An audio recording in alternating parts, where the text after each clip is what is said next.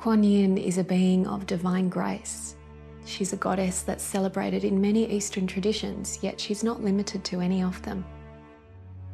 Really, she'll reach to any one of us that asks for her help, bringing her beauty, her love, her compassion to us, helping us find a way to let go of the struggle, to let go of the suffering, and be lifted.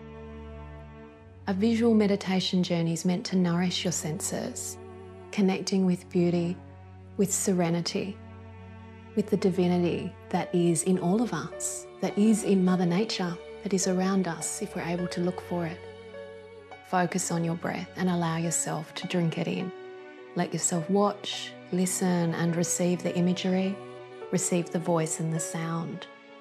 And may you find more benefit, more connection with your soul, and more of yourself. Namaste.